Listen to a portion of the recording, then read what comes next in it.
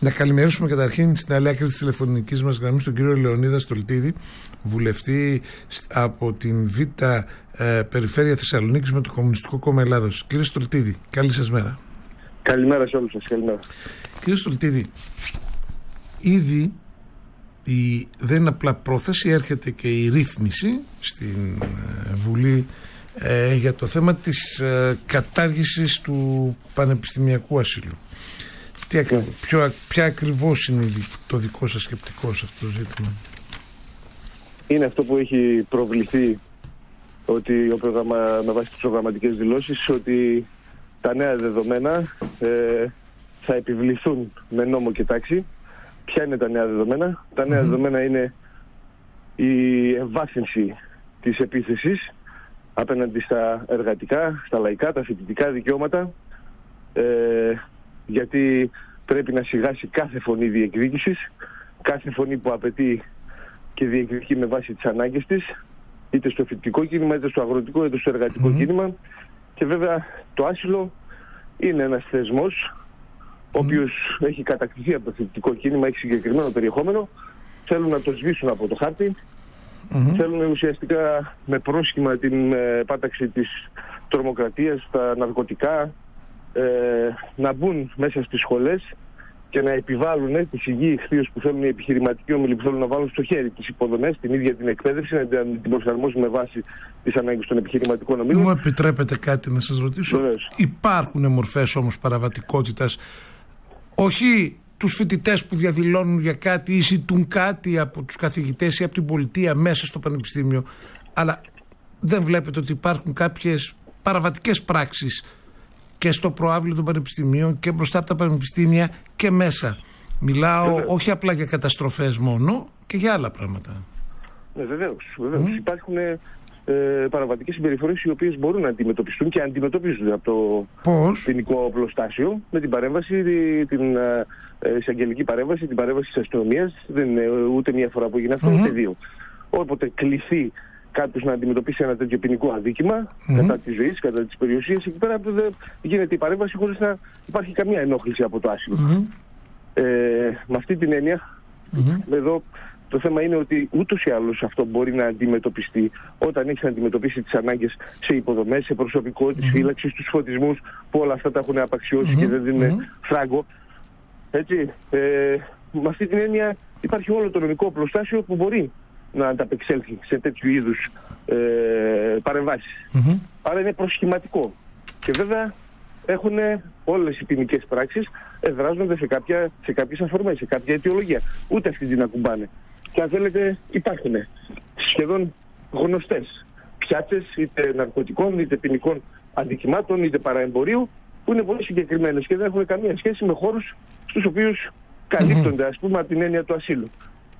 Και με αυτή την έννοια σε σχέση με το πώς αντιμετωπίζεται, φαίνεται, γίνεται ακόμα πιο διακριτό ότι δεν είναι το συγκεκριμένο ο στόχος. Αλλά είναι το να σβήσει αυτό που λέμε κάθε οργανωμένη ε, συλλογική δράση των ε, φοιτητών για να αποτρέψουν ένα πανεπιστήμιο μακριά από τις ανάγκες τους, προσαρμοσμένο στις απαιτήσεις και στις αξιώσεις των επιχειρηματικών ομίλων και βέβαια με χτισμένα μέσα παραμάγαζα θα λέγαμε, που εξυπηρετούν αυτά τα συμφέροντα. Μάλιστα, να σας ρωτήσω, ε, χθες ήταν η πρώτη, ναι, είναι η πρώτη συγκέντρωση στα προπήλαια που έγιναν από συλλόγους, επιτροπές κτλ. Ε, θα συνεχίσετε αυτές τις κινητοποιήσεις, θα συνεχιστούν αυτές τις κινητοποιήσεις; Και ήταν ελπιδοφόρα και μαζικότατη.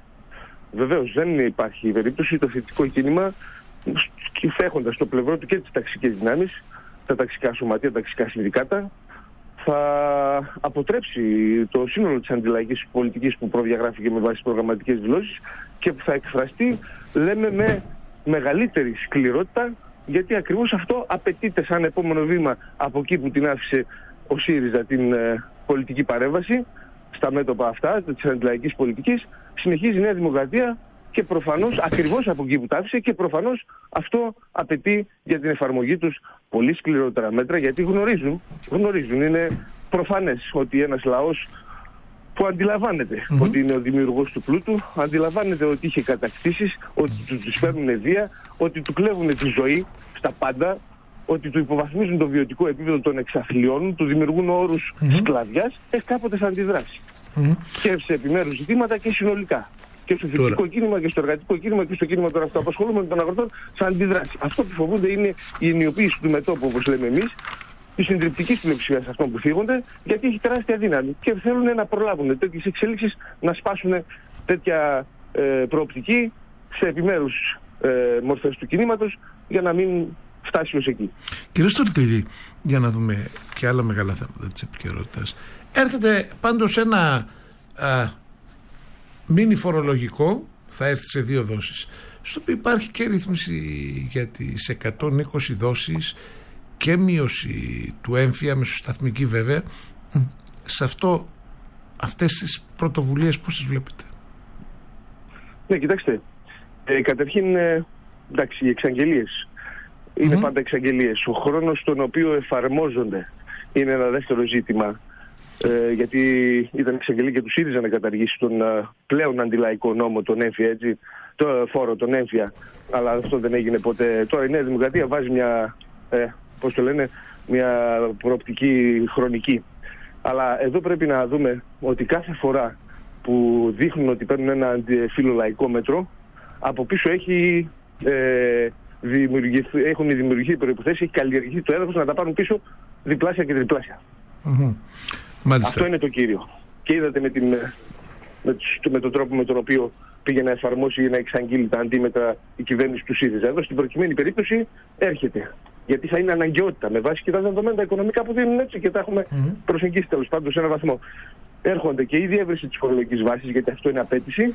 Εννοείται ότι, ότι θα, θα υπάρξει μείωση; Μείωση τι εννοείται. Του αφορολόγητου. Μείωση του αφορολόγητου για να αντιμετωπιστεί συνολικά το ζήτημα της χρηματοδότησης και της κάλυψης αυτής της δέσμης των ματωμένων πλεονασμάτων και διεύρυνση της φορολογικής βάσης. Αυτούς δηλαδή που ουσιαστικά προσανατόλισαν και λέμε ευθέως κορόιδευαν προεκλογικά τα μεσαία στρώματα, έτσι συγχαίροντας δηλαδή ακόμα και την ίδια την έννοια και βάζοντας όλους αυτούς που είναι πάνω από το των μισθοκέντρου από τους αποσχολούμενου και τους αγρότες, ότι θα δημιουργήσουν προποθέσει ελάφρυνσή τους. Για να πάμε και στις 120 δόσεις, έτσι. Δεν είναι, είναι αντιλαμβάνομαι την διαφωνία ή το πλαίσιο που θέτεται, αλλά μήπως έστω αυτό το, το κάτι λίγο που γίνεται με τις 120 δόσεις ε, δίνει μια ανάσα σε έναν κόσμο που χρωστάει αρκετά λεφτά; Δεν θα έχει κανένας καμιά τέτοια αντίρρηση και έχουμε ήδη πάντα ότι με, θα συμβάλλουμε στο να ε, και να ψηφιστούν και να εφαρμοστούν τέτοια μέτρα. Mm. Εντάξει, γιατί στη μάχη του αγώνα της διεκδίκησης είναι και το θέμα της εφαρμογής. Από τις εξαγγελίες μέχρι την mm-hmm. εφαρμογή έχει πολύ μεγάλη απόσταση. Mm-hmm. Αλλά στην προκειμένη περίπτωση 120 δόσεις δεν είναι τίποτα άλλο από ένας τρόπος να νιώσουν ότι τελικά θα καταφέρουν ε, να αποπληρώσουν δυσβάσταχτους φόρους, χαράτσι από τις τράπεζες ε, τραγικούς όρους ανταγωνισμού με κυρίαρχους ε, το μεγάλο κεφάλαιο, τους μεγάλους επιχειρηματικούς ομίλους να νιώσουν ότι μπορούν να δώσουν τα πάντα, να κάνουν τη μέγιστη προσπάθεια για να αποπληρώσουν. Λίγοι θα φτάσουν να ενταχθούν στο πρόγραμμα, λίγοι θα αποβελάβουν να το διεκπαιρεώσουν και αυτοί που θα το διεκπαιρεώσουν θα έχουν φορτωθεί τα επόμενα και θα έχουν και χειρότερους όρους ανταγωνισμού γιατί το μεγάλο κεφάλαιο με τη μείωση της φορολογίας του από το 28 στο 20 και από το 10 στο 5 τα διανεμόμενα mm-hmm. θα είναι με πολύ δυνατότερους όρους να ξεμπερδεύει με εργατικά να, να ελαφραίνει σε σχέση με τον ανταγωνισμό, να δημιουργεί άλλες προποθέσει που ουσιαστικά όπως έγινε και τις προηγούμενες φορές που μειώθηκε η φορολογία του μεγάλου κεφαλαίου με οποιονδήποτε τρόπο, ενδυναμώθηκαν και τσάκισαν χιλιάδες αυτοαπασχολούμενου μικρούς βιοτέχνες επαγγελματίες και όσους πλέον δραστηριοποιούνταν στο κάθε κλάδο του που δραστηριοποιείται και το μεγάλο κεφάλαιο. Με αυτή την έννοια είναι ένας τρόπος να, πώς το λένε, να σηκωθεί σκόνη στο γεγονός, να μην φαίνεται το γεγονός ότι δεν έχει μια προοπτική για κανέναν. Αυτές τις 120 δόσεις και μετά αν θα βγουν προς το φως του τούνελ θα έρθει το επόμενο πολύ μεγαλύτερο τούνελ και θα δυσχεράνει πολύ περισσότερο, θα εξαθλιώσει πολύ περισσότερο τη ζωή. Θέλουν να γεμίσουν τα ταμεία αυτή τη στιγμή, mm-hmm. γι' αυτό κάνουν τη μέγιστη προσπάθεια με τέτοιους προσανατολισμού. Μάλιστα. Για να έρθουμε σε ένα ιδιαίτερα λεπτό ζήτημα, κύριε Στολτίδη. Ε, όλη αυτή η κινητικότητα και οι διαρκείς προκλήσεις της Τουρκίας στην Ανατολική Μεσόγειο, στην Κυπριακή ΑΟΣ και στο Αιγαίο θα έχουν κάποιο όριο ή θα δημιουργήσουν ακόμα μεγαλύτερη ένταση; Κοιτάξτε, όλα τα ενδεχόμενα πρέπει να τα έχει στο νου το λαός μας σαν ανοιχτά. Και όχι μόνο να τα έχει τα ενδεχόμενα ανοιχτά, να αντιλαμβάνεται τον ρόλο της κυβέρνησης, της εκάστοτε είτε της προηγούμενης είτε της τωρινής που επανεπιβεβαίωσε την ε, τυφλή προσήλωσή της mm. στις λικοσυμμαχίε του ΝΑΤΟ και της Ευρωπαϊκής Ένωσης και να πάρει τα μέτρα του σαν λαϊκό κίνημα να προετοιμαστεί για όλα τα ενδεχομενα Γιατί είναι ύπουλο το να mm-hmm. ε, καθησυχάει σε αυτή τη στιγμή το λαό μας απέναντι σε ε, επιθετική πολιτική της Τουρκίας η οποία τροφοδοτείται από τη λικοσυμμαχία της Ευρωπαϊκής Ένωσης και του ΝΑΤΟ γιατί η λικοσυμμαχία είναι, είναι ρευστές πάντα αυτές οι καταστάσεις μπορούν πολύ εύκολα ανά πάσα στιγμή να αλλάξουν οι συσχετισμοί, μια δύναμη υπερλιστική να αλλάζει στρατόπεδο όπως είναι η Τουρκία. Το σίγουρο είναι ότι αυτή τη στιγμή τα, οι κίνδυνοι οι οποίοι αντιμετωπίζει ο λαός μας είναι, οφείλονται στην παρέμβαση αυτής των φίλων ας πούμε της λικοσυμμαχίας του ΝΑΤΟ η οποία θέλει, έχει αποδείξει καταρχήν στο παρελθόν ότι και σαν πώς το λένε, σύμμαχοι ε, δεν ε, έκαναν ε, τίποτα σε απέναντι στην επιθετικότητα της Τουρκίας τα πρώτα τις προηγούμενες δεκαετίες και είναι γνωστό που αναφερόμαστε και το διατηρούν αυτό για να μπορούν να διαπραγματεύονται με ισχυρά χαρτιά απέναντι και στην Ελλάδα, στην αστική τάξη της Ελλάδας και της Τουρκίας και βέβαια να φορτώνουν τα βάρη στους λαούς μέσα από αυτές τις διευθετήσεις. Είναι όλα ανοιχτά. Εδώ διαφαίνεται ότι τελικά η παρέμβαση της Τουρκίας γίνεται με τέτοιο τρόπο, με τέτοιο σιγοντάρισμα, το οποίο ουσιαστικά το επόμενο διάστημα θα ανοίξει πιο καθαρά το θέμα της διαπραγμάτευσης στη βάση ακόμα και της παραχώρησης κυριαρχικών δικαιωμάτων. Κύριε... Είτε της επίλυσης του Κυπριακού, είτε της ε, μοιρασίας στη διαχείριση του Αιγαίου και του ορυκτού πλούτου της, ε, των πηγών ενέργειας. Ε, κύριε Σολτίδη, είναι μια μέρα φορτισμένη ε, σήμερα, υπό ποια έννοια το λέω αυτό, ότι είναι 45 χρόνια μετά την αποκατάσταση της δημοκρατίας, μετά την πτώση της Χούντας, αφού είχε προηγηθεί η Κυπριακή τραγωδία, η προδοσία της Κύπρου, αφού είχαν προηγηθεί οι φοιτητικές εξεγέρσεις στο Πολυτεχνείο και νωρίτερα στη νομική 45 χρόνια μετά πολύ πολύ σε εισαγωγικά βάλτε την έκφραση ε, ασκούν σκληρή κριτική στη μεταπολίτευση στο καθεστώς που υπήρξε μετά τη Χούντα στη μεταπολίτευση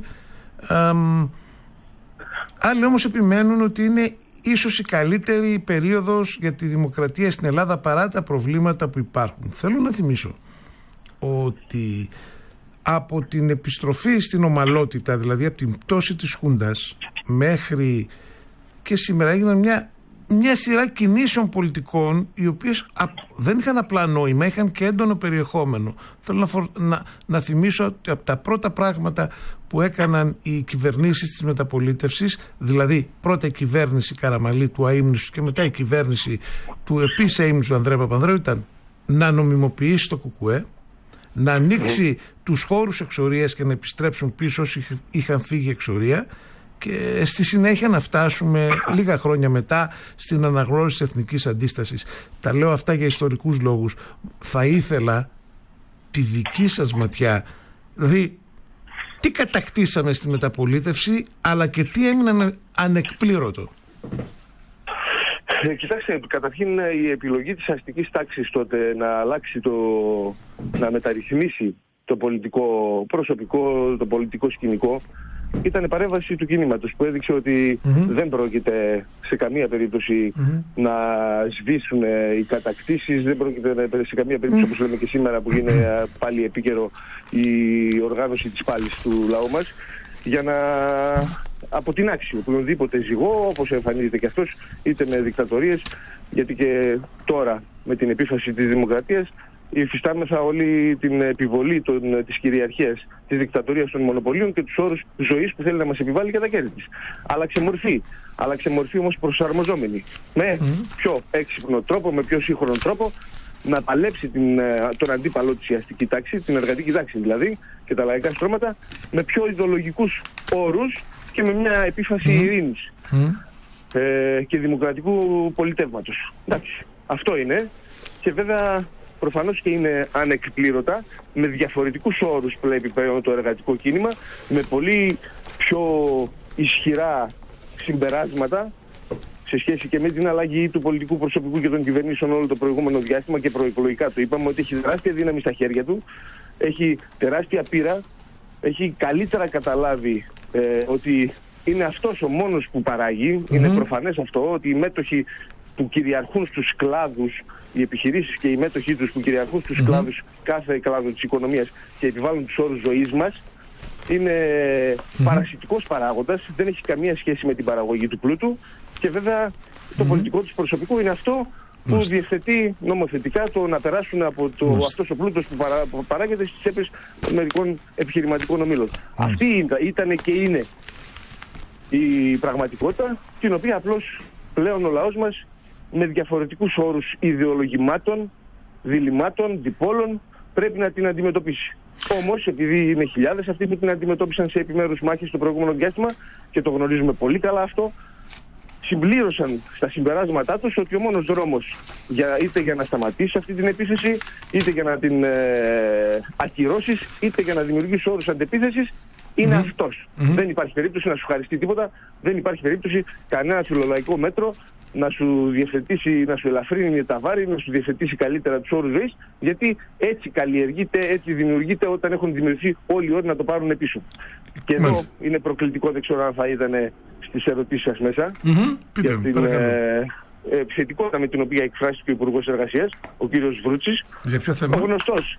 Ορίστε. Για ποιο θέμα; Για να το καταλάβει ο κόσμος. Της ε, κατάργησης του απεργιακού, του απεργιακού δικαιώματος. Ναι, αλλά λέει θα γίνεται ηλεκτρονική ψηφοφορία για να υπάρχει να διαπιστώνεται μεγάλη πλειοψηφία υπέρ ή κατά μιας απεργίας. Ναι, να ψηφίσουν αυτοί που από τον καναπέ αυτοί που εκβιάζονται από τον εργοδότη. Mm-hmm. Ε, τους όρους ε, διεξαγωγής των αρχαιρεσιών και του τρόπου συγκρότησης των συνδικαλιστικών οργανώσεων, τους όρους λειτουργίας τους, τους έχει mm. κατακτήσει το κίνημα με δεκαετίες αγώνα, με χιλιάδες αγωνιστών που έχουν θυσιαστεί, έχει αποτυπωθεί στα καταστατικά της λειτουργίας των συνδικαλιστικών οργανώσεων και έτσι ακριβώς θα συνεχίσει να γίνεται. Ο, ο Υπουργός Εργασίας πήρε θέση, πήρε θέση πλάι στη συνδικαλιστική μαφία της ΓΕΣΕ, η οποία όλο το προηγούμενο διάστημα ήθελε να διεξάγει συνέδρια με μπράβους και ασφαλίτες για να επιβάλλει την φυσική παρουσία mm. της εργοδοσίας μέσα στα δευτεροβάθμια, τριτοβάθμια και στο, στο τριτοβάθμιο της ΓΕΣΕ όργανο και αυτό ε, επειδή δεν της βγήκε με την παρέμβαση των ταξικών δυνάμεων, mm-hmm. των δυνάμεων που συσπηρώνονται στο ΠΑΜΕ, τώρα θέλει να κάνει την επίθεση με αυτόν τον τρόπο, με τη νέα κυβέρνηση, η οποία υπόσχεται ότι θα καθαρίσει το τοπίο υπέρ των επιχειρηματικών ομήλων και των ανθρώπων της στο εργατικό κίνημα για να βάλουν άλλους όρους συσχετισμών. Εμείς λέμε ότι ανοίγουν πόλεμο. Λοιπόν. Δεν υπάρχει περίπτωση, σε καμία περίπτωση, να ανεχθούμε την παρέμβαση του κράτους και των επιχειρηματικών ομίλων στον τρόπο λειτουργίας των συνδικαλιστικών οργανώσεων. Κύριε Στολτίδη, θέλω να σας ευχαριστήσω για αυτή τη συνομιλία που είχαμε. Ε, να σας καλημερίσω. Λοιπόν, κυρίες και κύριοι, ήταν ο κύριος Λεωνίδας Στολτίδης, βουλευτής του Κομμουνιστικού Κόμματος Ελλάδας ε, στη Β' Περιφέρεια Θεσσαλονίκης. Κύριε Στολτίδη, και πάλι καλή σας μέρα και καλή συνέχεια. Καλημέρα σας,